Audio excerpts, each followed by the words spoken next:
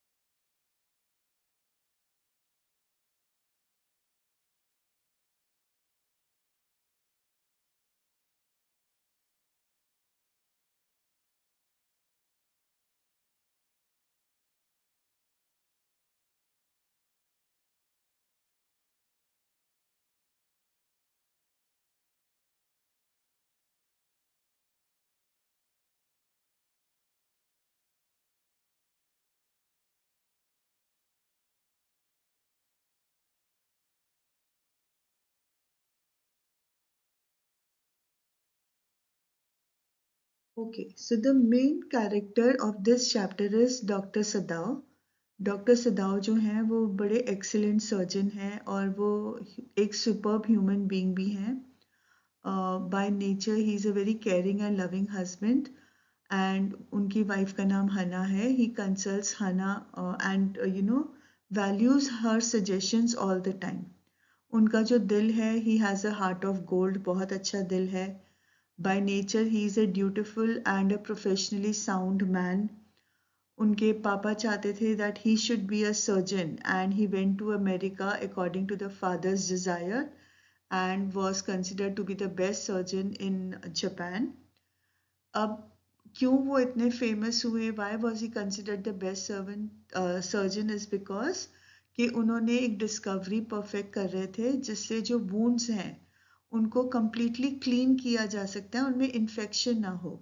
During the time of the second world war more man died more soldiers died from wounds that were infected rather than being killed on the battlefield तो उस time पे soldiers की जान बचाने के लिए उनकी जो डिस्कवरी थी, वो बहुत ज़्यादा यूज़फुल थी, बहुत ज़्यादा जापान के काम आती और बहुत ज़्यादा लोगों की जान बच सकती थी।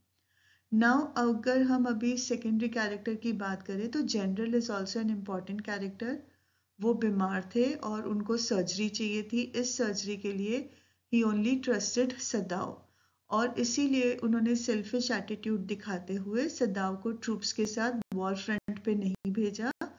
उनको अपने आसपास ही रखा था।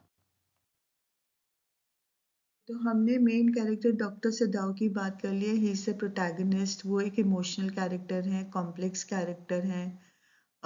You know he is caught between two duties that of humanity of his you know of his being a doctor और सेकेंड ड्यूटी जो है, उनकी पेट्रियाटिक ड्यूटी है। As a doctor as a human being उनको Tom की life बचानी पड़ती है an American prisoner of war and you know this shows is devotion to his profession but ये जो ड्यूटी थी ये उस उनके uh, ड्यूटी के अगेंस्ट थी Uh, being a Japanese, he should have handed over Tom to the Ameri uh, to the Japanese army or to the Japanese police.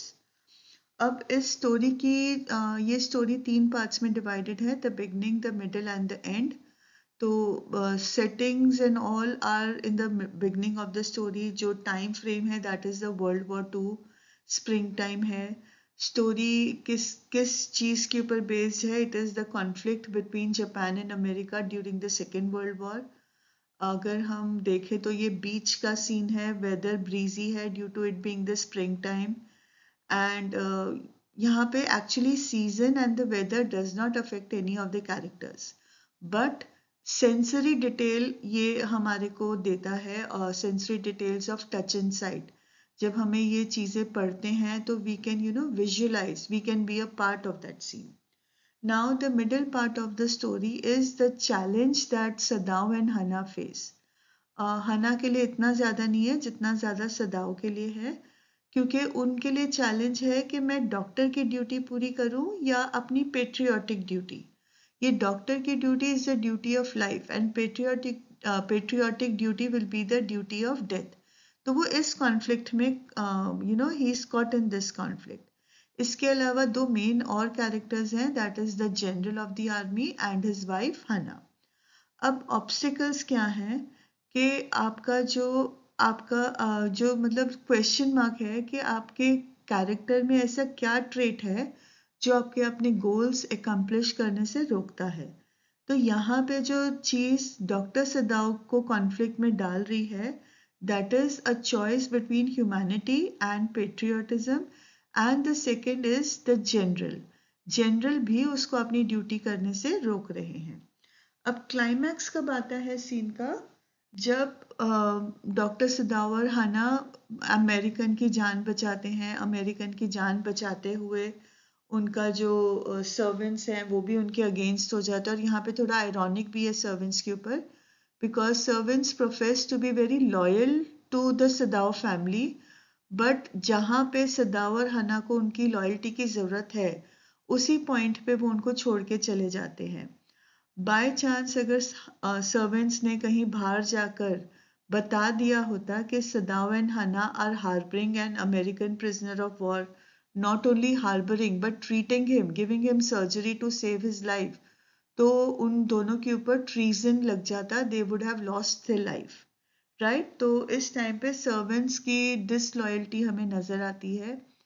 Again climax आता है जब जनरल सदाव को अपने घर बुलाता है because he is in pain तो Sadao जाके उनको फ्रैंकली बता देता है कि he had to help an American prisoner of war अब जनरल की ड्यूटी है that he should have arrested Sadao but selfish motive के पीछे वो सदाव को अरेस्ट नहीं करते हैं और सदाव को बल्कि ये सजेस्ट करते हैं कि वो अपने असैसन्स भेजेंगे और वो सदाव टॉम को मार भी देंगे और उसकी बॉडी भी गायब कर देंगे।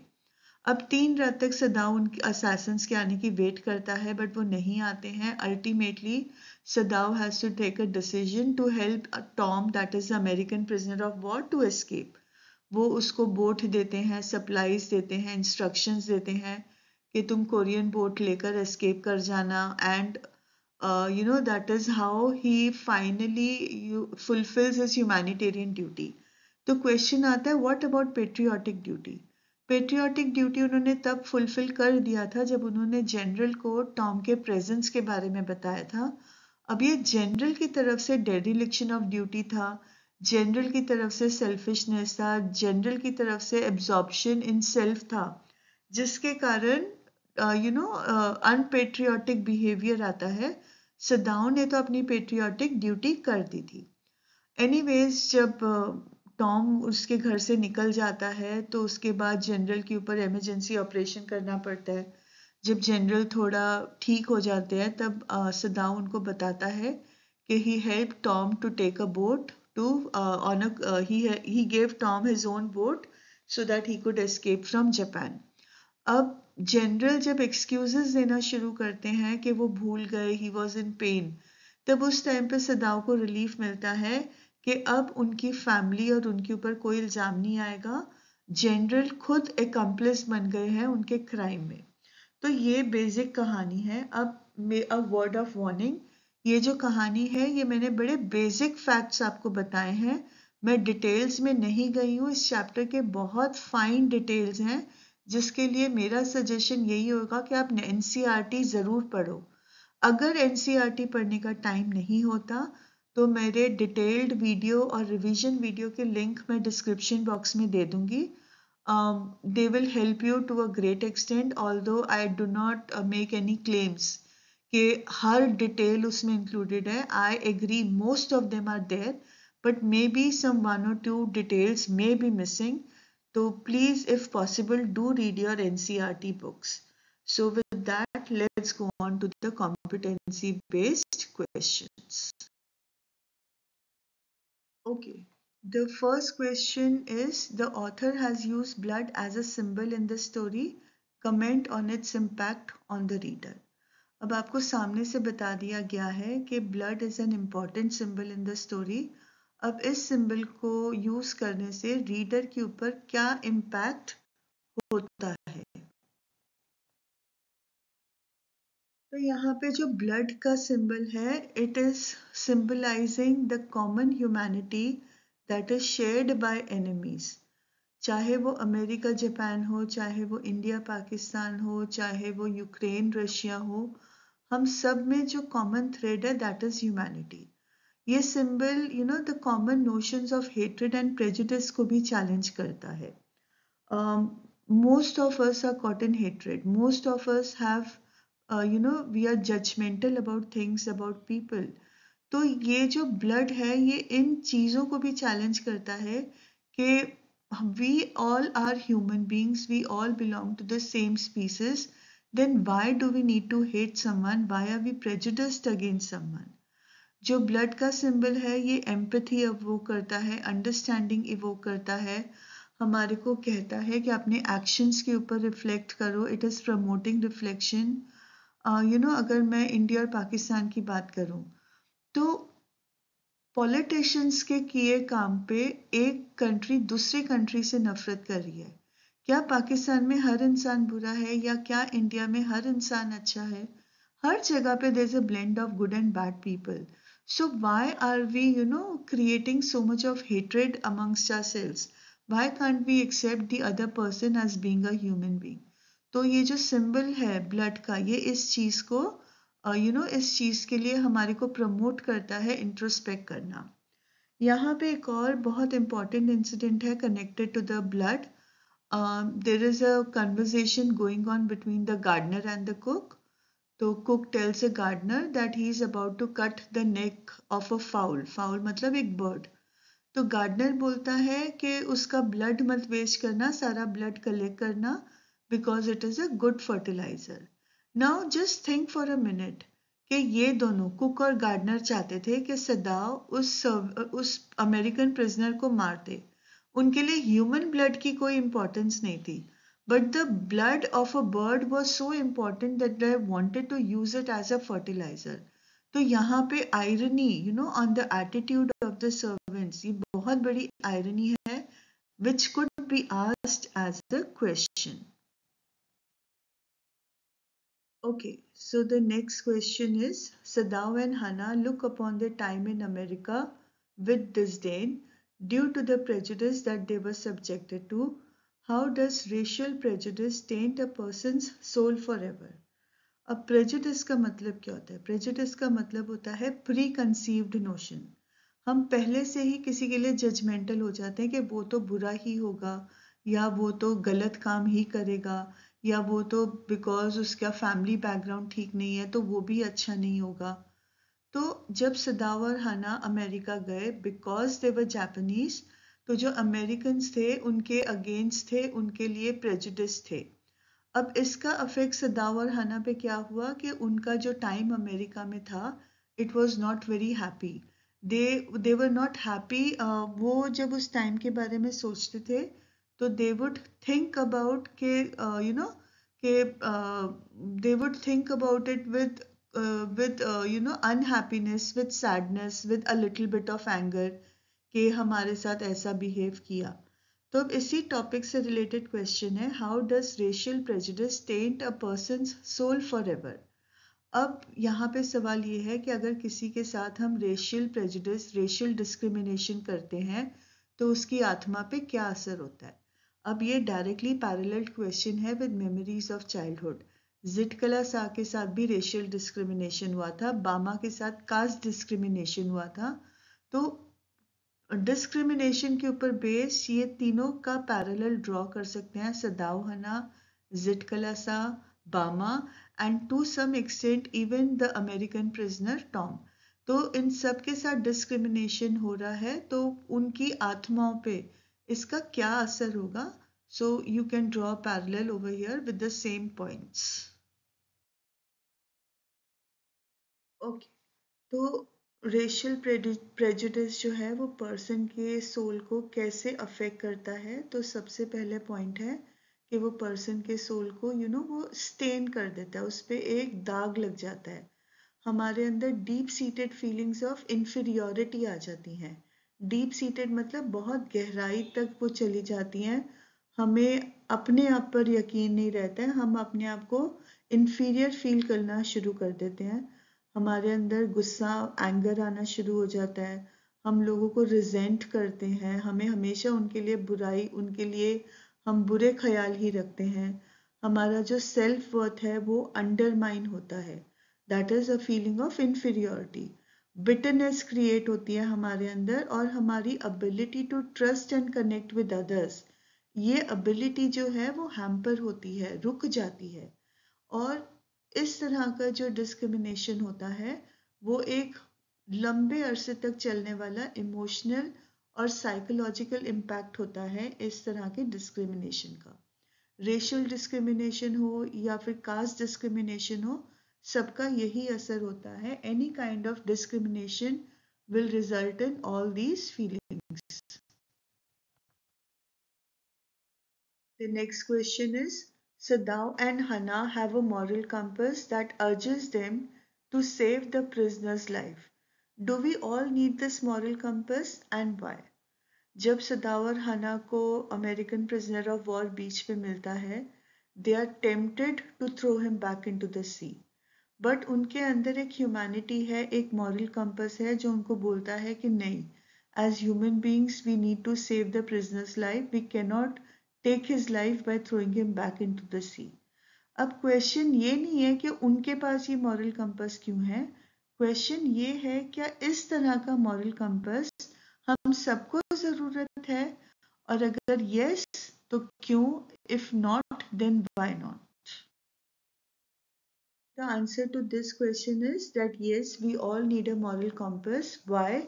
Because it guides us to make ethical choices. अगर हमारा moral compass होगा तो हम वैल्यू बेस्ड choices कर पाएँगे। हम उस तरह से एक्ट करेंगे which are fair just and compassionate. हम जस्टिस करेंगे, हमारा जो डिसीज़न होगा वो फेयर होगा, लोगों के साथ सहानुभूति रखते हुए होगा। इस तरह का मॉरल कंपस जो है, हमें वो वैल्यूज़ अपहोल्ड करना सिखाता है। हमारे को अपने एक्शन के कॉन्सिक्वेंसेस जो होते हैं, उनके बारे में सोचने पे मजबूर करता है। और सिर्फ़ खुद की नहीं बट दूसरों की वेलबींग के बारे में भी सोचने पे प्रमोट करता है, मजबूर करता है। तो इस तरह का मॉरल कंपस होना बहुत ज़रूरी होता है। Okay the next question is Pearl Buck depicts the servants in a way to convey a message about Japanese people and culture support your answer with textual evidence इस क्वेश्चन का मतलब है कि the writer of this chapter Pearl Buck वो servants को इस तरह से डिपिक कर रहा है जिससे हमारे को एक मैसेज मिले about the Japanese people and their culture अब हमने सिर्फ़ you uh, know you know, वो मैसेज नहीं बताना है बट हमने उससे रिलेटेड टेक्सचुअल एविडेंस भी देना है। अब इस आंसर के ना दो पार्ट्स हैं। अगर हम एक पार्ट में देखें तो सर्वेंट्स जो हैं they have been portrayed as respectful, dignified manner, highlighting their loyalty, dedication and willingness to serve. Right Hana ने बड़े हक से यूमी को बोला कि टॉम को वो क्लीन करे the way Yumi return you know जब वो घर छोड़ के जा रहे थे यूमी ने आके कैसे हना को बोला कि अगर बच्चे आपको तंग करेंगे तो मुझे बुला लेना, मैं आ जाऊँगी। जो गार्डनर था, जो कुक था, वो सदाव के प्रेजेंस में उसको बातें नहीं मतलब उसको डायरेक्टली फेस टू फेस बातें नहीं सुनाते थे बट उसके प्रेजेंस में ज़रूर बातें करते थे so that he may you know learn the lesson and hand over Tom to the army तो उनका जो मैनर था, वो लॉयल था डेडिकेटेड था विलिंगनेस टू सर्व था तो इस इस तरह के डिस्क्रिप्शन से हमारे अंदर जो you know feelings of prejudice हैं, हमने जो स्टीरियोटिपिकल जजमेंट्स बनाए हैं regarding the Japanese people and their culture तो ये डिस्क्रिप्शन उसको चैलेंज ज़रूर करता है। But at the same time you know servants के लिए हमें ये बात भी नोट करनी पड़ेगी कि उनकी जो लॉयल्टी थी अपनी कंट्री के लिए, उस लॉयल्टी ने उनकी लॉयल्टी टू सदावन हना को ट्रांसेंड किया। मतलब for them country was far above their duty to Sadao and Hana तो वो उनको कुछ भी बोले बगैर, कोई प्री वॉर्न किए बगैर, एक दिन अचानक से सुबह सुबह चले जाते हैं। बट जाते ज़रूर हैं but they do not show any disloyalty to Sadao and Hana वो किसी को भी बाहर जाके इन्फॉर्म नहीं करते हैं। कि सदावर हना ने एक अमेरिकन प्रिजनर ऑफ़ वॉर को अपने घर में शरण दिया है, आसरा दिया है। उनको गुस्सा होता है, वो सदावर हना के इस एक्ट में उनका साथ नहीं देते हैं। वो चीज़ ज़रूर है they are not disloyal in the sense that they do not betray them तो इसीलिए यू नो मतलब हम उनको लॉयल कह रहे हैं rather than disloyal हाँ जी the next question is but Sadao searching the spot of black in the twilight sea that night, had his reward. What was the reward? अब क्वेश्चन का मतलब है कि रात को जब यू नो ट्विलाइट सी था ट्विलाइट का मतलब ना तो रात हुई है, ना शाम है, वो बीच का टाइम है जब अंधेरा हो रहा है, तब पूरा उसको वहाँ पे ब्लैक नज़र आ रहा था तो उसमें सदाव को क्या रिवॉर्ड मिला था? What was the reward reward क्या था it was the escape of the enemy Sadao के अंदर बहुत मॉरल डिलेमास चल रहे थे। वो हर बार अपनी दिल की सुन रहे थे। आ, अपने हिसाब से वो राइट डिसीज़न लेते थे और उनकी वाइफ हना जो है वो भी उनको जेंटली फॉलो करती थी। उसने कभी भी सदाव को कोई भी काम करने से नहीं रोका। हाउएवर uh, जब जनरल ने अपना प्रॉमिस तोड़ दिया तो इससे सदाव को एक मौका मिला टू रिकंसिडर हिज डिसीज़न उसने ह्यूमैनिटेरियन ड्यूटी के हिसाब से टॉम के ऊपर ऑपरेशन तो किया but in keeping with this patriotic duty उसने जनरल को टॉम के प्रेजेंस के बारे में बताया। अब जब जनरल ने असैसन्स नहीं भेजा, तब सदाव को एक मौका मिल गया कि मैं जो कर रहा हूँ, जो हो रहा है, वो सही है या गलत है, और उसने डिसाइड किया कि enough is enough he help the soldier to escape उन्होंने उस सोल्जर को एक बोट दिया फ़ूड दिया बॉटल्ड वाटर दिया क्विल्ट्स दिया और डायरेक्शंस दिए that he should wait for a Korean fishing boat to escape उन्होंने ये भी बोला था उस आदमी को एक टॉर्च देते हुए विच वॉज़ क्वाइट रिस्की क्योंकि उस टाइम पे टॉर्चेस यू नो मतलब इतनी कॉमन नहीं थी कि अगर तुम्हें कोई प्रॉब्लम होगी तो शाम के टाइम पे ट्विलाइट के टाइम पे स्काई में ये टॉर्च को लाइट अप कर देना and I come and find what I come and find you to know what is the problem तो जब रात को सदाव उस स्पॉट ऑफ़ ब्लैक के लिए सर्च कर रहे थे ट्विलाइट सी में उस रात को तो अगर वो आदमी होता तो वहाँ पे लाइट होती। बट वहाँ पे लाइट नहीं थी so obviously the man had gone so this was doctor Sadao's reward next question is how do we know that doctor Sadao was conscientious as well as loyal? Conscientious का मतलब होता है a person who does his duty sincerely and you know uh, loyally ded, uh, dedication के साथ जो अपना काम करते हैं उनको हम कंसेंशियस कहते हैं एंड लॉयल होते हैं जब हम किसी प्रिंसिपल के साथ किसी आइडियल के साथ या अपनी कंट्री का के लिए जब आ, हम उसकी बेहतरी का सोचते हैं, तब वो लॉयल्टी होती है। तो ये दोनों कैरेक्टरिस्टिक्स डॉक्टर सदाव में कैसे हैं, हमें पता चलता है। That is the question characteristics जो हैं, वो चैप्टर में बड़ी क्लियरली विजिबल हैं। अगर हम कंसेंशियस कंसेशियस की बात करें तो he was true to his profession how do we know that because he attended to the wounded soldier और उसकी जान बचाई, उसके ऊपर सर्जरी करी। अगर हम लॉयल्टी की बात करें then he inform the general about the prisoner और उनके प्लान ऑफ़ असैसिनेशन के साथ भी एग्री किया। He agree that the general should send his personal assassin to take care of Tom तो this showed his loyalty to the country Next question is, in the enemy Hana's thoughts and actions regarding Tom were in discord Support this statement with examples from the text. अब यहाँ पे बहुत बच्चों को Discord का मतलब नहीं पता होगा। डिस्कॉर्ड का मतलब है कि वो तालमेल में नहीं थे। हना जो टॉम के बारे में सोचती थी और टॉम से रिलेटेड हना के जो एक्शंस थे, आपस में उनका कोई बैलेंस नहीं था। They were completely in contrast to each other तो हमने इस लाइन को एक्सप्लेन करना है सपोर्ट करना है। With examples from the text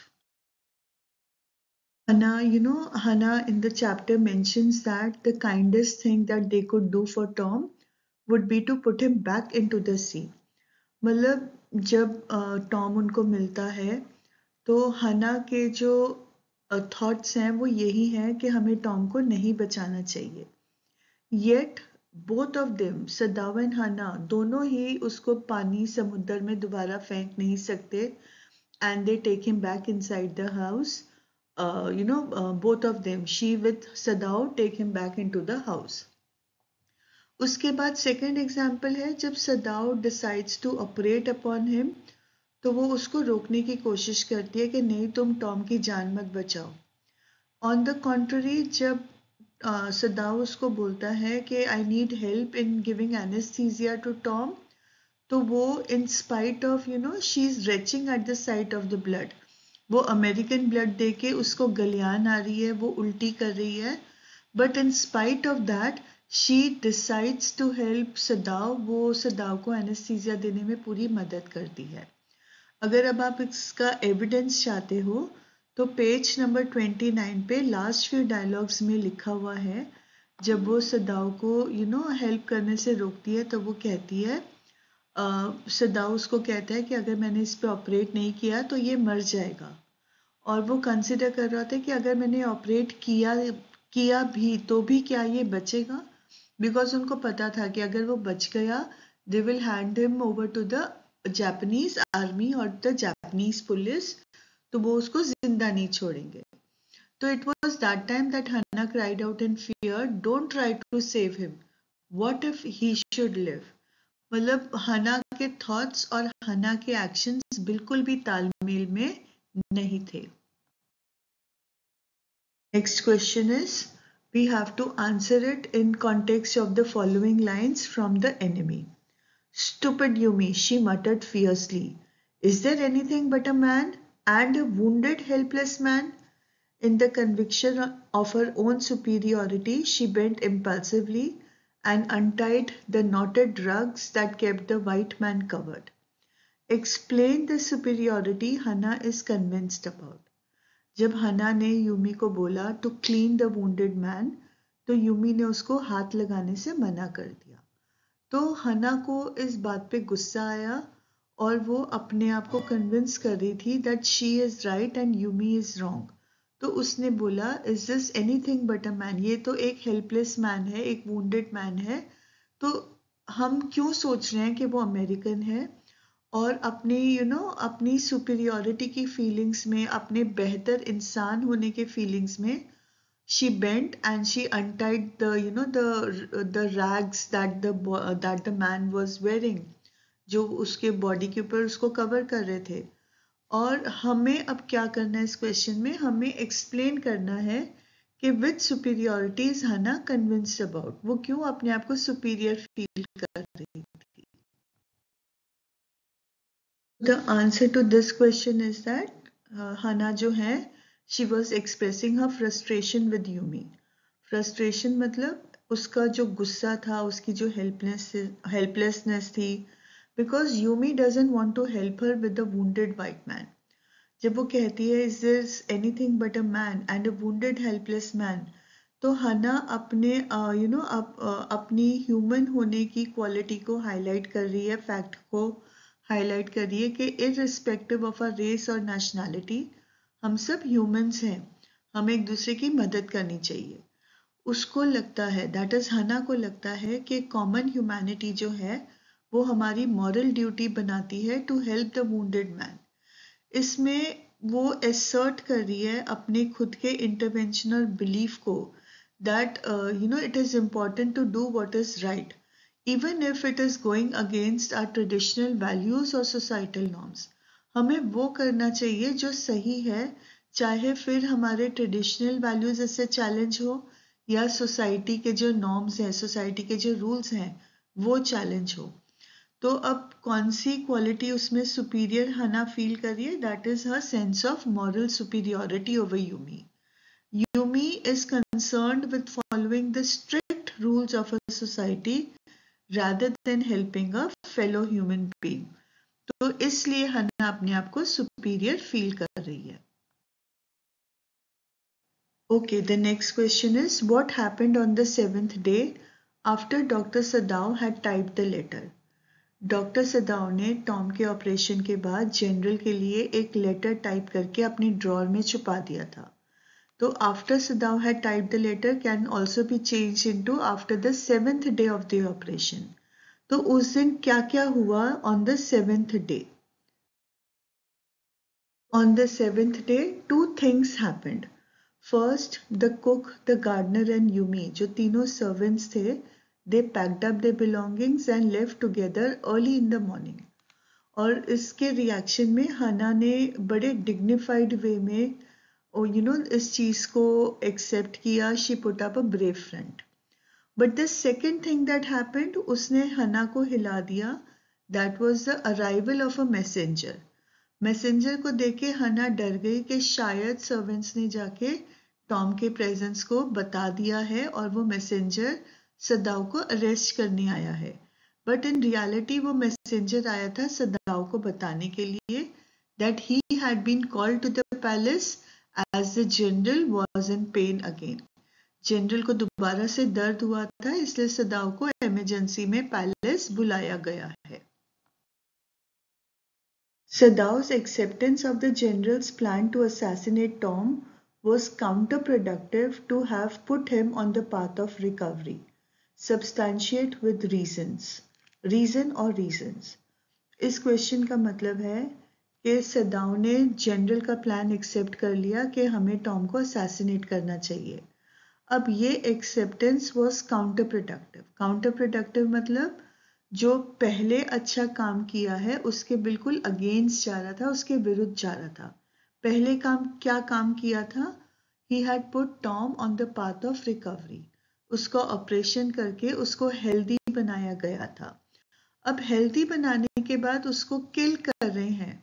तो ये जो दोनों एक्शंस हैं दे आर कॉन्ट्रास्टिंग तो हमें अब इस इस लाइन को प्रूफ करना है सब्सटैंशिएट करना है विद रीजन कि उन्होंने ऐसा क्यों किया। इसका सिंपल सा रीजन है कि डॉक्टर सदाव एक डॉक्टर थे। यू नो सबसे पहले उनका जो ड्यूटी था that was to his profession to his you know to his sense of humanity as a doctor उन्होंने अपनी ड्यूटी करी। एज ए ह्यूमन बीइंग उन्हें ह्यूमैनिटी निभाई। But why did he accept the general's plan then that was in accordance to the loyalty to his country मतलब doctor Sadao एक बहुत अच्छे इंसान हैं, जो अपनी किसी ड्यूटी को भी इग्नोर नहीं करते।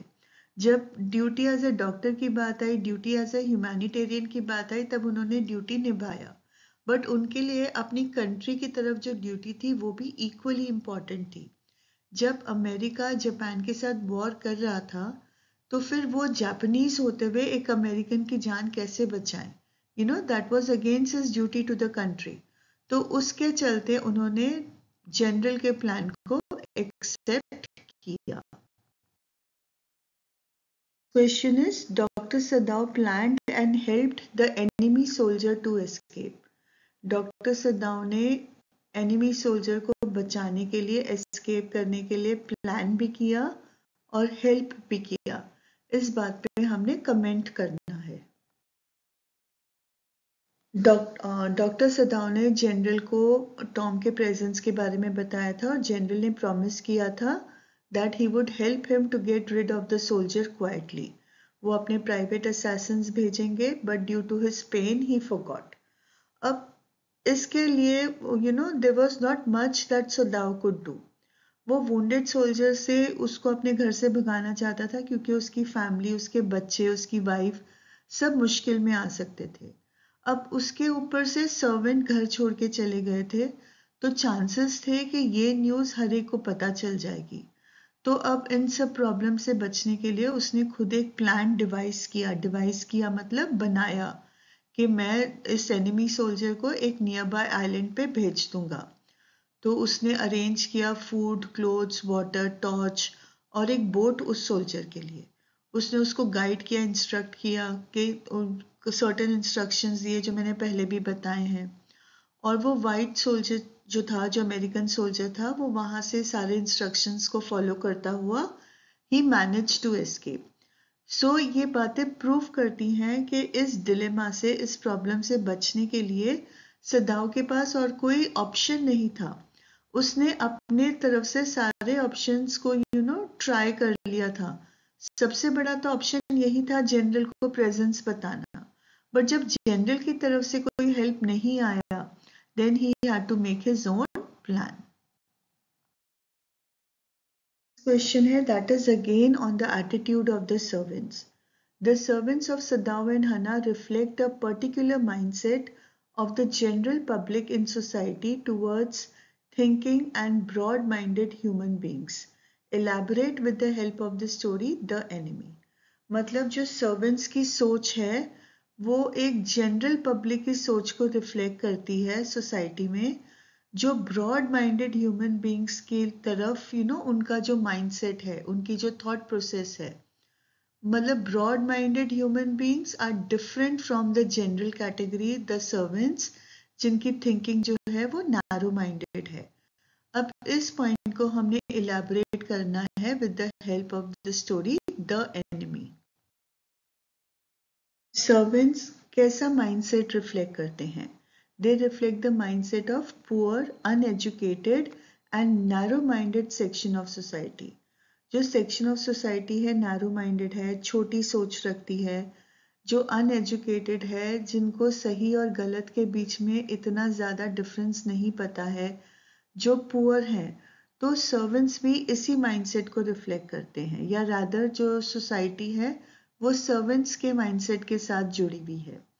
ये लोग फ्राइटेंड होते हैं। The servants are frightened on hearing about the wounded American soldier old gardener को लगता है कि सोल्जर को मर जाना चाहिए। अगर वो नहीं मरा तो सी रिवेंज लेगी। तो ये सुपरस्टिशियस माइंडसेट को रिवील करता है। जो यूमी है, वो एनिमी सोल्जर के वूंड्स को वॉश करने से मना कर देती है। She is angry with Sadao for putting his family in danger उसको लगता है कि सदाव क्यों इसकी हेल्प कर रहा है? वो तो अपनी फैमिली को डेंजर में डाल रहा है। जो कुक है, उसको लगता है कि Sadao is too proud of skills इसीलिए उसने एनिमी के ऊपर ऑपरेट किया और सेव किया। वो दिखावा करना चाहता था that he has you know he has a very good skill he is very proud of skill तो अब इसके चलते सर्वेंट्स ने क्या किया? They left Sadao's house because they were afraid कि अगर हमने एनिमी सोल्जर को हेल्प किया तो इसके रेपोकर्शन इसका नतीजा हमारे ऊपर भी आ सकता है। उनको बिल्कुल भी उनको सदाव का डिलेमा जो था वो समझ में नहीं आया। दे डिड नॉट रियलाइज़ कि Sadao was acting out of humanity it was not dereliction of his patriotic duty वो अपनी कंट्री से गद्दारी नहीं कर रहा था बट वो इंसानियत का साथ दे रहा था, ये बात सोल्जर्स को समझ नहीं आई थी। Next question is you recently watched an interview of one of the doctors who serve for the organisation named doctors without borders मतलब आपने एक इंटरव्यू देखा ऑफ़ वन डॉक्टर जो एक ऑर्गेनाइजेशन में सर्व करता है, काम करता है the name of the organisation is doctors without borders अब इस नाम में बहुत कुछ है। डॉक्टर्स विदाउट बॉर्डर्स का मतलब है doctors who are not divided on the basis of border वो अपने आप को अगर इंडिया का डॉक्टर है तो वो पाकिस्तान के सोल्जर को हेल्प करने से मना नहीं करेगा। He is not bound by the boundary of India अगर जापान जापान का डॉक्टर है तो वो अमेरिका के सोल्जर को सर्व करने से मना नहीं करेगा। He is not bound by the border of Japan या फिर अगर पाकिस्तान का डॉक्टर है तो वो इंडियन सोल्जर की मदद करने से मना नहीं करेगा। Because again he is not bound by the Pakistan border तो अब इन डॉक्टर में से किसी एक डॉक्टर का आपने इंटरव्यू देखा। अब ये ऑर्गेनाइजेशन क्या करता है? This organisation serves people in remote corners of the world that are affected by civil strife poverty and lack of medical facilities मतलब ये जो ऑर्गेनाइजेशन है, ये लोगों को रिमोट कॉर्नर्स के वर्ल्ड के रिमोट कॉर्नर्स में हेल्प करता है जो सिविल स्ट्राइफ सिविल स्ट्राइफ मतलब सिविल वॉर या फिर पावर्टी या फिर लैक ऑफ़ मेडिकल फैसिलिटीज़ के कारण जो अफेक्टेड होते हैं। अगर आपको पता होगा अमेरिका ने जब जापान पे जापान के हिरोशिमा और नागासाकी पे एटम बॉम्ब्स फेंके थे there were many American doctors there were many Indian doctors who went to Japan to help the people over there जो यहाँ पे मतलब न्यूक्लियर एक्सप्लोजन था तो वहाँ पे जो लोगों का बहुत बुरा हाल था तो उनकी मदद करने के लिए doctors from all over the world had gone to Japan right तो ये सारे पॉइंट्स अपने दिमाग में रखने हैं। अब ये इंटरव्यू देखकर you were impressed with the dedication compassion and professional ethics of this doctor इस डॉक्टर का dedication to his job compassion for the unfortunate and professional ethics के बाउंड्री मैटर नहीं करती कंट्री मैटर नहीं करती my duty is a doctor आप बड़े impress हुए हो। अब इस पॉइंट से रिलेटेड आपने ई जाइन ई जाइन मतलब इलेक्ट्रॉनिक मैगजीन के लिए आर्टिकल लिखना है that there is a need for such people in the world to serve selflessly दुनिया में ऐसे बहुत डॉक्टर्स की, ऐसे बहुत लोगों की ज़रूरत है जो खुद के खुद के बारे में ना सोचे, दुनिया के बारे में सोचे। आर्टिकल है तो आर्टिकल का फॉर्मेट फॉलो करते हुए टाइटल और बायलाइन देना ज़रूरी होता है। अब यहाँ पे टाइटल क्या दिया है? The need for selfless doctors inspiring stories from doctors without borders doctors without borders से जो हमें स्टोरीज इंस्पायर करती हैं, वो उन्होंने बायलाइन ले ली है। नाउ अब इसमें हम क्या लिखेंगे? यू you नो know, हमें लिखना है कि जो दुनिया है उसमें बड़े कॉन्फ्लिक्ट्स हैं पावर्टी है इन इनएडिक्वेट हेल्थ केयर है बट एक ऐसा ग्रुप ऑफ़ एक्स्ट्रॉर्डनरी इंडिविजुअल है जो डेडिकेशन कंपैशन और प्रोफेशनल एथिक्स को एपिटमाइज करते हैं। एपिटमाइज मतलब सिंबलाइज करते हैं। ये डॉक्टर्स सर्व करते हैं with the organisation doctors without borders and ये करते क्या है? ये क्वेश्चन से आपको क्यों मिल रहा है? That they are bringing medical aid to the remote corners of the world where it is most needed. अब इनका ये सर्विस क्या करता है? ये सिर्फ़ जिंदगियाँ नहीं बचाता है। It not only saves life but also ignites a beacon of hope उम्मीद जगाता है लोगों के दिलों में। यू you नो know, ऐसे लोग जिनको सोसाइटी ने निग्लेक्ट किया है या जिनको वो भूल गए हैं। अब वो अपना जो राइटर है वो अपना एक्सपीरियंस बताएगा कि मैंने रिसेंटली एक इंटरव्यू देखा था जिसमें one of these remarkable doctors ने अपना यू you नो know, अपने बारे में बताया और उसके शब्दों ने उसके वर्ड्स ने it left an indelible mark on my soul indelible mark मतलब ना मिटने वाला मार्क फॉर एवर एक मार्क मेरे सोल पे छोड़ा।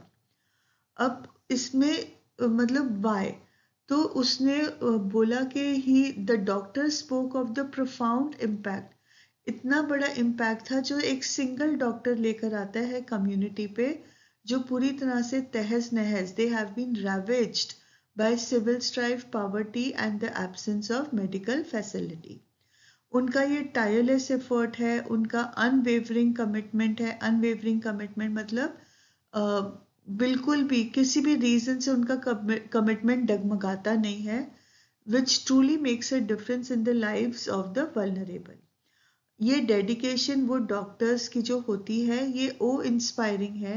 ये अपने घर के कंफर्ट को छोड़ते हैं फैमिली फेमिलियर सराउंडिंग्स को छोड़ के एक अननोन वर्ल्ड में आते हैं to face its unknown challenges और ये जो चैलेंजेस होते हैं, ये अनइमेजिनेबल होते हैं। वो बहुत आर्डस कंडीशंस में वर्क करते हैं। आर्डस मतलब डिफ़िकल्ट कंडीशंस और ज़्यादा बार ऐसा होता है कि वो खुद की सेफ्टी को भी रिस्क करते हैं driven solely by the desire to heal and alleviate suffering ये काम वो सिर्फ़ लोगों की तकलीफ़ मिटाने को करते हैं। अब यहाँ पे I will like to take a pause ये जो पूरा पैराग्राफ है ना, ये एक थर्ड पॉइंट ऑफ़ व्यू से है। यहाँ पे रेफरेंस टू द टेक्स्ट नहीं दिया है बट जब भी इस तरह का कॉम्पिटेंसी बेस्ड क्वेश्चन आता है remember to give reference to the chapter that it has been taken from अब यहाँ पे रेफरेंस क्या आएगा? Even doctor Sadao who although not belonging to the doctors without borders did a selfless service उसने भी Japanese होते हुए एक अमेरिकन सोल्जर की जान बचाई।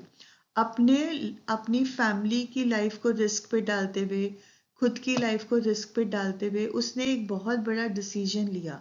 ही सेव्ड इन न्यूमरेबल प्रॉब्लम्स उसके सर्वेंट्स उसको छोड़ के चले गए। बट वो अपनी ड्यूटी से डगमगाया नहीं। He did not waver from his duty इस तरह से आप कोलिंग करोगे। इस जो मैंने आपको राइट अप दिया है, ये जनरल राइट अप है। आपने पूरे का पूरा नहीं लिखना है। जो पॉइंट्स आपको आसानी से याद रह जाएँ, जो वोकेबलरी आपको आसानी से याद रह जाए आपने उतना ही उठा के बाकी का अपने चैप्टर के साथ कोलिंग करके लिखना है। अब यहाँ पे देखो क्या लिखा है।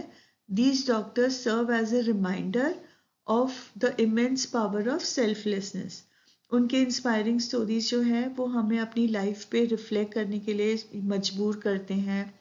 हमें यू you नो know, हमें फोर्स करते हैं हमारे को सोचने पे मजबूर करते हैं कि what we can do to make this world a better place हमें ऐसे डॉक्टर्स की बहुत ज़्यादा ज़रूरत है, जो खुद के कंफर्ट्स को साइड पे रखकर ह्यूमैनिटी को गले लगाएँ ह्यूमैनिटी को एम्ब्रेस करें।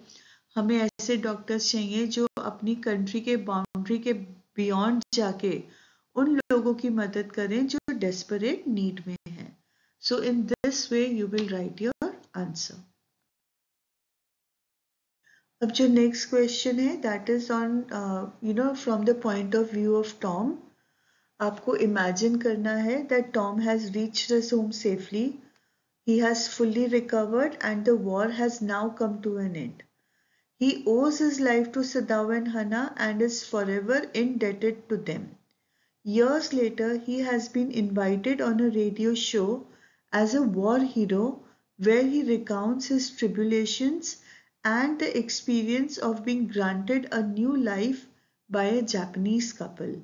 As Tom, write down that narration. अब इस क्वेश्चन का सिंपली मतलब है कि वॉर को ख़त्म हुए कई साल हो गए हैं टॉम पूरी तरह से रिकवर्ड है वॉर ख़त्म हो चुकी है, और सदाव और हना ने जो उसकी जान बचाई है, उसके लिए वो उनके लिए हमेशा इनडेटेड है इनडेटेड मतलब he is under their debt वो एक ऐसे उन्होंने उसके ऊपर एहसान किया है जिसको वो कभी चुका नहीं सकता। अब सालों बाद उसको इनवाइट किया जा रहा है एक रेडियो शो पे एज अ वॉर हीरो और उसने वहाँ पे बताना है, सबको रिकाउंट करना है हिज ट्रिबुलेशंस ट्रिबुलेशंस मतलब उसकी जितनी भी मुश्किलें थी वॉर के दौरान, उसने जो भी तकलीफ़ सही वॉर के दौरान उन चीज़ों को बताना है और कैसे उसको न्यू लाइफ मिली थी due to a Japanese couple तो आपने ये टॉम की तरफ़ से नरेशन लिखना है। इसके आंसर में टॉम क्या लिखेगा right it's it's kind of an account he is giving an account तो he has to address people तो ऑब्वियसली लेडीज़ एंड जेंटलमैन से वो शुरू करेगा। फिर वो बताएगा how honoured he is feeling you know sitting there with all of them और वो बताएगा सिंपली वो अपने टॉपिक पे आ जाएगा कि I can't help but reflect on the incredible journey that brought me to this very moment reflect on the incredible journey मतलब to think about this journey जो मुझे आज आपके सामने लेकर आई है। फिर वो बताएगा कि कैसे एक फॉरेन शोर पे मुझे चोट लग गई थी during the middle of the war कैसे you know I was clinging on to life और मुझे ये नहीं पता था कि लाइफ ने मेरे लिए एक डिफरेंट प्लान बनाया हुआ है, जिसमें दो रिमार्केबल इंडिविजुअल्स आके मेरी लाइफ को हमेशा के लिए बदल देंगे।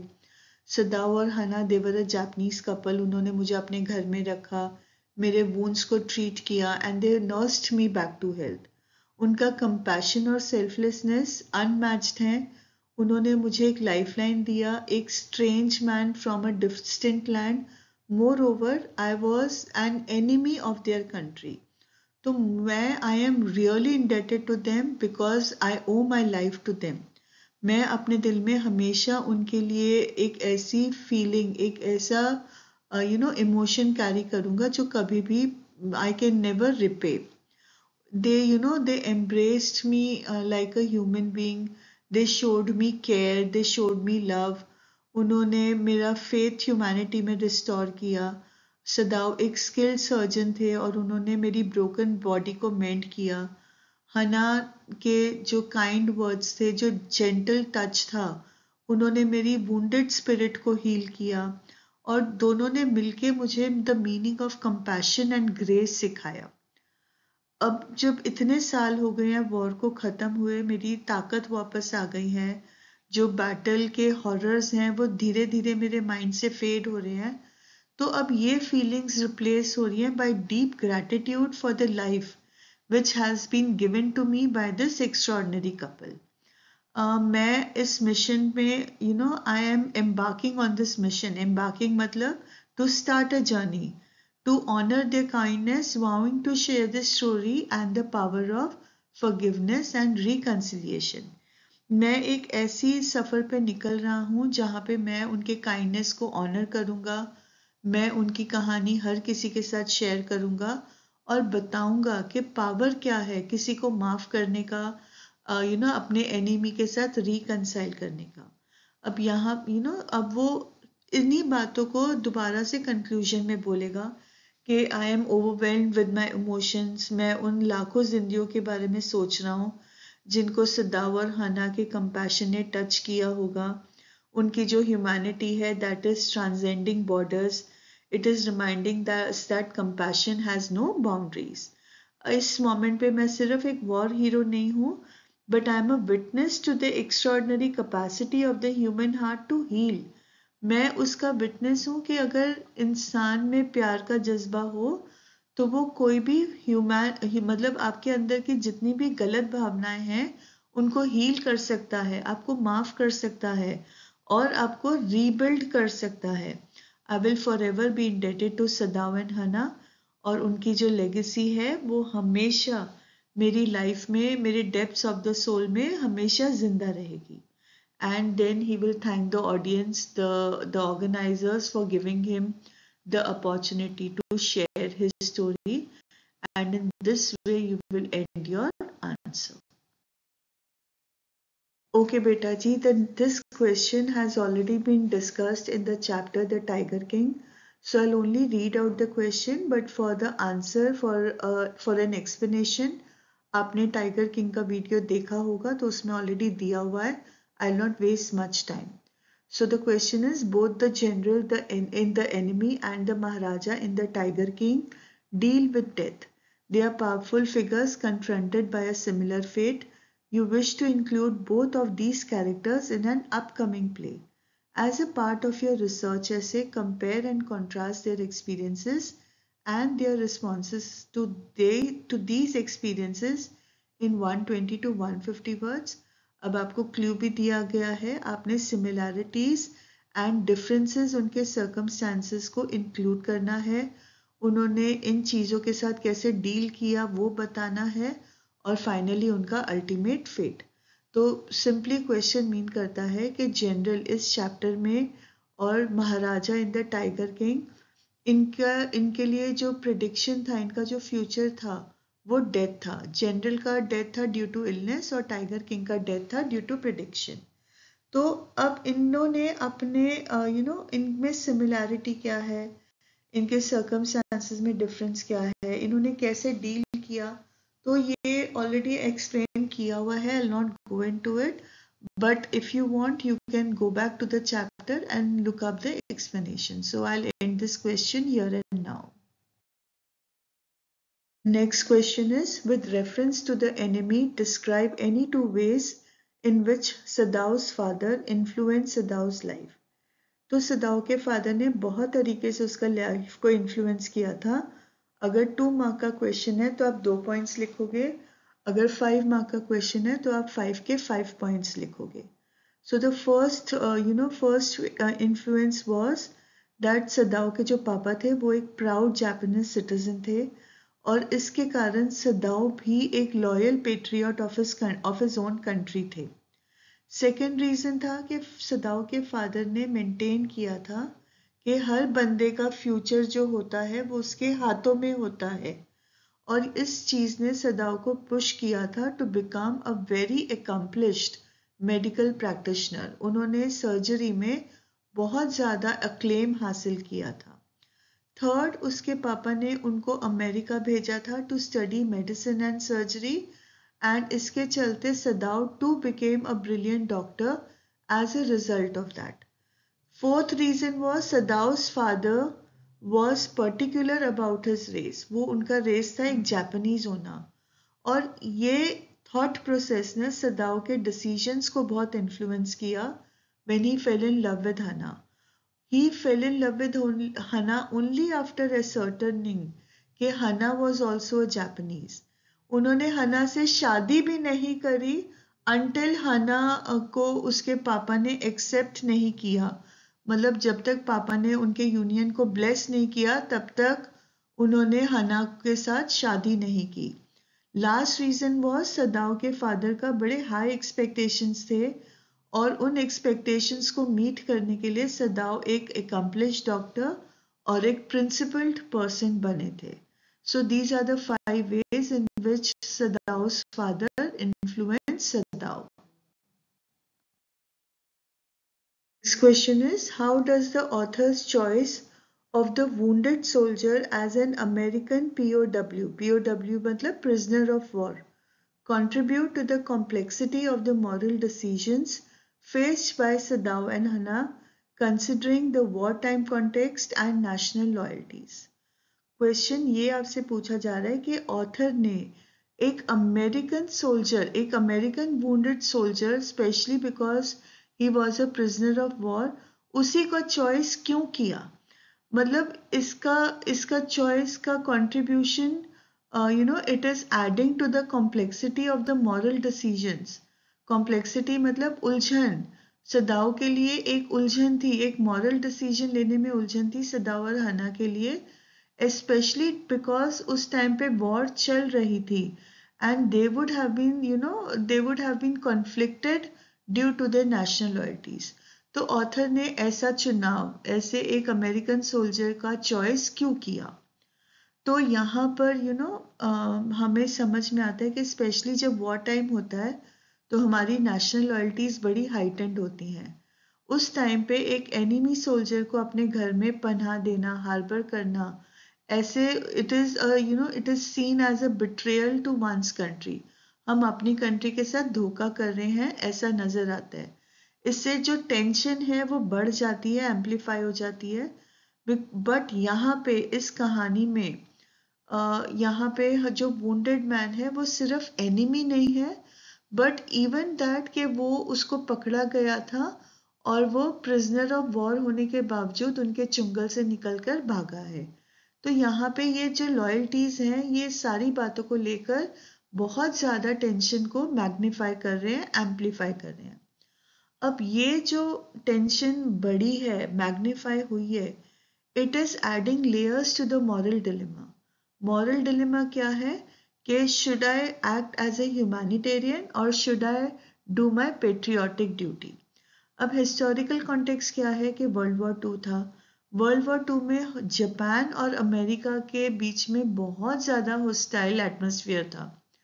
अब इनका जो चॉइस है, यहाँ पे जो चॉइस इन दोनों के सामने है, ये कैरेक्टर्स को फोर्स करता है टू कन्फ्रंट उनके जो इनग्रेन्ड प्रेजुडिस हैं। बचपन से इनग्रेन्ड मतलब बचपन से उनको अमेरिका से नफरत करना सिखाया गया है।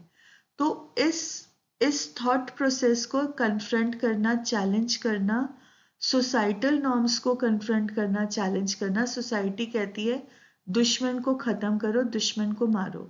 तो इस नॉर्म को चैलेंज करना बहुत डिफ़िकल्ट था। It is adding to the layers of the moral dilemma अब जो वुंडेड सोल्जर था he is identified as an American prisoner of war तो ये एक ह्यूमन बींग को डीह्यूमनाइज किया गया है बाय द एनिमी वो एक इंसान नहीं है, वो एक अमेरिकन प्रिजनर ऑफ़ वॉर है. ये वॉर टाइम में ऐसी सोच बन जाती है और यहाँ पे इसकी चॉइस इस सोच को क्वेश्चन कर रहा है कि हम ऐसा क्यों करते हैं? एक इंसान इंसान ना रहते हुए एक प्रिजनर ऑफ़ वॉर क्यों बन जाता है? ये इस क्वेश्चन जो है इस यू you नो know, इस बात को एम्फोसाइज कर रहा है कि ह्यूमन बींग होना हम सबको वलनरेबल बनाता है हम सबको एक थ्रेड में बांधता है। The thread is a common thread of suffering ये एक मॉरल डिलेमा है। It is not about allegiance to one's nation allegiance मतलब हमारी लॉयल्टी टू हमारी कंट्री की तरफ़ but it is also about recognising the shared humanity हम सब एक ह्यूमन बींग हैं हमारे अंदर इंसानियत है जिसको नेशनल कॉन्फ्लिक्ट्स को ट्रांसेंड करना चाहिए उसके बियॉन्ड जाना चाहिए हमें नेशनल कॉन्फ्लिक्ट को भूल के इंसानियत पे फोकस करना चाहिए। सो so, इसीलिए ऑथर ने एक अमेरिकन प्रिजनर ऑफ़ वॉइस का चूज़ मतलब एज अ कैरेक्टर चूज़ किया था। जी अब हम उन क्वेश्चंस पे आ गए हैं जिनकी ऑलरेडी डिस्कशन हो चुकी है आइदर इन द रिवीजन और इन द प्रीवियस क्वेश्चंस तो मैंने इनके आंसर्स नहीं लिखे हैं I just discuss them very briefly so the first question is why was doctor Sadao not sent abroad with the troops because उन्होंने एक you uh, know you know, uh, एक treatment perfect किया था जिससे वोन्स completely clean हो जाएँगे। जो general था वो बीमार था उसको सर्जरी की ज़रूरत थी और वो सिर्फ़ डॉक्टर सदाव को ट्रस्ट करते थे। इसीलिए अपने सेल्फिश रीजन के कारण उन्होंने सदाव को अब्रॉड नहीं भेजा था with the troops with the army question is answer the uh, questions in the context of the following lines from the enemy.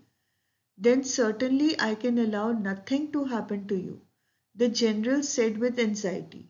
His long pale Japanese face became expressionless which meant that he was deep in thought. How did Dr. Sadao perform his duty as a patriotic Japanese? Doctor Sadao ने ऐसा क्या बोला था general को जिसके कारण general ने बोला कि तुम्हें कुछ नहीं होने दे सकता राइट right? तो यहाँ पर पेट्रियाटिक ड्यूटी उन्होंने निभाई थी जनरल को बता के about the presence of the American soldier telling the general that he had treated, he had operated upon the American soldier. तो इस कॉन्टेक्स्ट में उन्होंने अपनी duty as a patriotic Japanese निभाई थी। Next question is throw light on the attitude of the general in the matter of the enemy soldier it is cruel it is selfish it is self centred it is dereliction of duty उन्होंने अपनी country की तरफ़ patriotism नहीं दिखाया. अपनी being the general of the army उन्होंने dereliction of duty किया. उन्होंने अपने पेन के चलते उनका सब कुछ भूल गया. He was suppose to have send assassins to kill Tom and dispose of his body but उन्होंने ऐसा कुछ भी नहीं किया। Okay next is uh, yeah, that is again a repetition why was Sadao not sent abroad with the troops okay next what forced Sadao to be impatient and irritable with his patient जब Sadao patient के ऊपर operate कर रहे थे तो वो you you know know, उसको दर्द से वो कह रहा तो उससे पहले क्या हुआ था कि जब उसकी ब्लीडिंग हो रही थी तो सदाओ हना को वो ब्लड देकर शी वॉज़ स्टार्टेड रेचिंग उसको वॉमिट आ गया।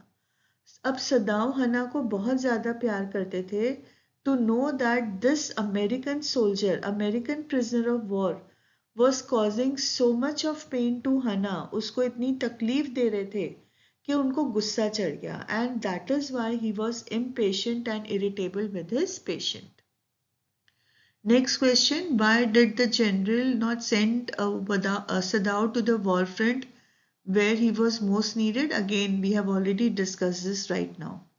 Next, how does the writer indicate that Dr. Sadao's father was a very traditional and conventional man? तो इसके पांच reasons अभी कुछ slides पहले आपको दिए हैं तो you can use those same reasons for this Question. Dr. Sadao emerges as a savior of humanity. Substantiate your answer with evidence from the text. Question का मतलब है कि डॉक्टर सदाओ हमें नज़र आते हैं एज अ सेवियर सेवियर मतलब जो बचाता है उन्होंने किसको बचाया है ह्यूमैनिटी को तो आपने अपने चैप्टर से एविडेंस uh, देते हुए इस आंसर को सब्सटैंशिएट करना है सो आपको पता ही है कि उन्होंने कैसे टॉम के ऊपर ऑपरेट किया, कैसे उसको केयर दिखाया, अपने सर्वेंट्स को नाराज़ करते हुए भी उसकी पूरी देखभाल करी। जब जनरल ने असासन्स को नहीं भेजा तो सदाव ने उसकी जान बचाई, उसको वहाँ से भगा के। So all this showed that he was a saviour of humanity next question there are moments in life when we have to make hard choices between our roles as private individuals and as citizens with a sense of national loyalty. Discuss with reference to the story, The Enemy. अब इस question का मतलब है कि इंसान की ज़िंदगी में ऐसा समय आता है जब हमें अपने इंडिविजुअलिटी के बीच में और अपनी पेट्रियाटिक ड्यूटी के बीच में चॉइस करना पड़ता है अब यहाँ पे किसको चॉइस करना था सदाव को चॉइस क्या था to save Tom's life or to kill him or to hand him over to the Japanese army or the police. तो उन्होंने कौन सा चॉइस किया? He went according to his role as a private individual he served humanity he save the life of Tom and ये करना क्यों ज़रूरी होता है? Because humanity will always transcend loyalty to a nation जो ह्यूमैनिटी की तरफ़ हमारी ड्यूटी है, वो हमेशा हायर लेवल पे होगी as compare to our duty to our country next question is you are at an event which test your knowledge of literature in the event you have chosen the short story the enemy as your discussion topic and this following question was put forward in it मतलब आपका एक test हुआ है जिसमें आपको knowledge of literature को test किया जाएगा। आपने अपना टॉपिक चूज़ किया है द एनिमी और इससे रिलेटेड आपसे एक सवाल पूछा गया है। Do you think doctor Sadao's final decision was the best possible one in the circumstances why why not explain with reference to the story the enemy तो अब आपको बोला जा रहा है कि अब आप ये सवाल कैसे जवाब दोगे? So what is the theme of the chapter that humanity must transcend patriotic duty तो इसी थीम को आंसर करते हुए हम बोलेंगे कि yes Sadao's final decision was the best possible one in the circumstances उन्होंने अपनी ह्यूमैनिटेरियन ड्यूटी निभाते हुए टॉम के ऊपर ऑपरेट किया था, उसकी जान बचाई थी। फिर उन्होंने पेट्रियाटिक ड्यूटी निभाते हुए जनरल को भी इन्फॉर्म किया कि Tom is at the house he is an American prisoner of war but जब जनरल ने डेरिलेक्शन ऑफ़ ड्यूटी दिखाया जनरल ने असैसन्स नहीं भेजे तो अब सदाओ के पास कोई ऑप्शन नहीं था। So he took the final decision of helping the enemy to escape उन्होंने उसको सारा अरेंजमेंट करके दिया, सब कुछ प्लान किया। तो इस मतलब हमें अब बताना है कि ये डिसीज़न अच्छा डिसीज़न क्यों था? जब आपके पास आपने सारे यू नो आपने सारे सल्यूशंस को पुट फॉरवर्ड किया है, आपने सारे ऑप्शंस को कैरी आउट किया है अब आपके पास कोई सोल्यूशन नहीं बचा है। और आपके पास चॉइस है to you know to see your family die और टू सेव देम तो इस ऑप्शन में अपनी आप, आपको अपनी फैमिली बचाना सबसे इम्पोर्टेंट है। अब जब जनरल ने असैसिन नहीं भेजा तो what could he have done he was left with no choice and thus his decision was the best possible possible one in the circumstances. Okay. Next question is how would you explain the reluctance of the soldier to leave the shelter of the doctor's home even when he knew he couldn't stay there without the risk to the doctor and himself. अब Tom को पता था कि अगर वो सदाव के घर से बाहर निकला तो उसके लिए इमीडिएट डेथ है जो भी जापानीज उसको देखेगा वो उसको पकड़ के जापानीज आर्मी या पुलिस को हवाले कर देगा अब जब चॉइस हो खुद की जान बचानी है या डॉक्टर और उसकी फैमिली की जान बचानी है, बहुत कम लोग होते हैं डॉक्टर की तरह जो सामने वाली की ज़िंदगी को इम्पोर्टेंट मानेंगे। हर कोई अपनी जान बचाना चाहेगा। टॉम ने भी यही चीज़ को किया। उसको पता था कि डॉक्टर के घर में रह के डॉक्टर और उसकी फैमिली को रिस्क है। बट बाहर जाके उसको श्योरिटी थी कि वो मर जाएगा। उसको पकड़ लिया जाएगा। उसने ऑलरेडी इतना टॉर्चर सहा था। यू नो जब वो सदावर हना को मिला था तो उसके नेक पे स्कार्स थे which showed that he had been greatly tortured he was not willing to risk that and there he was reluctant to leave doctor Sadao's home okay next question is there are moments in life okay we have already done this so I not get into it again The last question is One must rise above narrow prejudices of race and country to help a human being in need. This is what you have learned from the lesson The Enemy that you just read now. The thought of Dr. Sadao does not leave your mind and you decide to pen your feelings in your diary. Write your diary entry for the same in 120 to 150 words. You may begin like this. Diary entry में format नहीं होता है but there are certain things you must write that is date day and time फिर dear diary आप लिखो या आप directly शुरू कर दो doesn't matter but at the end of the diary entry you should write your name तो अब इसमें क्वेश्चन क्या है? कि आपने अभी अभी लेसन पढ़ा है द एनिमी और आपको पता है, आपको जो समझ में आया है, इस चैप्टर में से कि हमारे को अपने नैरो प्रेजुडिस से बाहर निकलकर यू नो अपने लोगों को ह्यूमन बींग्स को हेल्प करना ज़्यादा ज़रूरी है।